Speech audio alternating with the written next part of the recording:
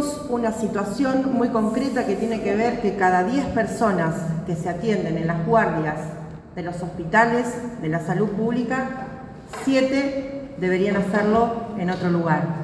Y tenemos un importante número ahí destacado que tiene que ver con un aumento en las consultas de nuestros efectores públicos del 30%. Ante esta situación que les refería, nuestras acciones concretas, inmediatas, tienen que ver con una política de descentralización, de territorio, de cercanía y de abordaje integral, donde volvemos a pensar y a refundar las regiones de salud de la provincia de Santa Fe. Tenemos un dato concreto. En estos 39 días de gestión saldamos una deuda de 20 mil millones de pesos que tenían nuestros hospitales y nuestros AMPOS. También un dato muy importante, parte de esa deuda son los 400 millones de pesos que se le estaba debiendo a la Asociación de Prestadores de Diálisis que cubren una prestación crítica a 600 pacientes de la provincia.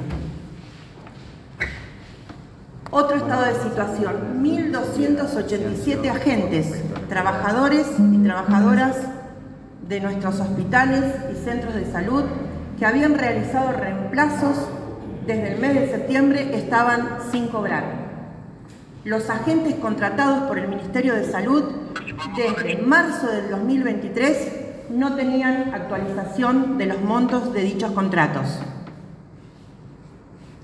El sistema de emergencias y traslados, columna vertebral de nuestro sistema de salud, se encontraba así. El 70% del parque automotor de ese sistema estaba deteriorado, no operativo, con más de 45 millones de pesos de deuda en estaciones de servicio y de viáticos. A casi 40 días de gestión, reparamos 40 vehículos que ya están operativos en las calles de toda la provincia de Santa Fe. Eso impactó en forma directa en 22 localidades de Santa Fe que no tenían asegurado ese servicio elemental. Además, ahorramos 30 millones de pesos en la derivación de usuarios del sistema de salud al ámbito privado en estos 39 días de gestión y además ahorramos 50 millones de pesos al dar de baja contrataciones de servicios de ambulancias en el privado porque volvemos a poner operativo nuestro sistema público de emergencias. Esta es la imagen de una de las sedes donde funciona el sistema, además de otras dependencias del Estado, que logramos que luego de ocho meses cuente con un servicio de vigilancia. Estamos trabajando en forma intersectorial para brindar un plan de seguridad a todos los efectores de salud de la provincia. Destinamos un mil millones de pesos para la compra de medicamentos esenciales, paracetamol, ibuprofeno, medicamentos esenciales que estaban faltando en los centros de salud.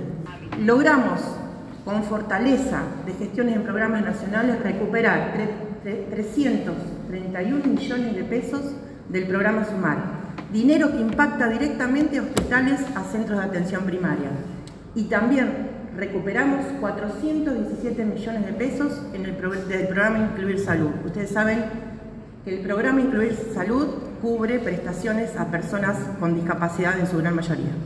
Había una faltante importante de medicamentos esenciales, como les dije, pero también de elementos e insumos básicos.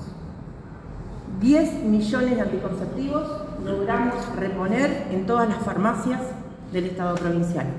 También un millón de preservativos y equipamiento también de gestión nacional que tienen que ver con tecnología importantísima para nuestro sistema. Otro de nuestros ejes de trabajo y fundamental es la salud mental. ¿Qué encontramos? Que en las guardias de los hospitales aumentó 133% las consultas en el primer semestre perdón, del 2023 con respecto al mismo periodo del 2022. 133%, y que además se duplicó el número de internaciones en hospitales generales y en consultorios externos. ¿Qué encontramos? Esos datos y encontramos una concentración muy marcada de los equipos y los dispositivos en las grandes urbes, con una fragmentación del abordaje en salud mental y además una falta de abordaje de los consumos problemáticos, también un gran desafío. ¿Qué estamos haciendo desde el día 1 de la gestión? Llevar a cabo un plan integral de salud mental basado en el enfoque de derechos. Nosotros jerarquizamos el área en la estructura ministerial, de dirección pasamos a subsecretaría, con todo lo que eso implica. Así fortalecemos los equipos que ya existentes y algunos más.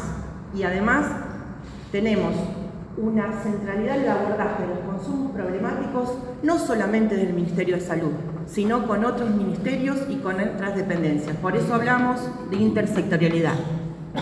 Otro eje de trabajo y de gestión, la prevención y la promoción de la salud. Desde el día 1 trabajamos con situaciones epidemiológicas emergentes, dengue, encefalitis equina, que hicieron que rápidamente los equipos de salud, sobre todo en, situaciones de emergencia sanitaria, se encuentren acompañando a los equipos locales en cualquier lugar del territorio, desde el norte al sur, acompañando a presidentes de comuna e intendentes también. Ahí tenemos una gran fortaleza en los equipos de salud, por eso llegamos oportunamente a los diagnósticos y al tratamiento.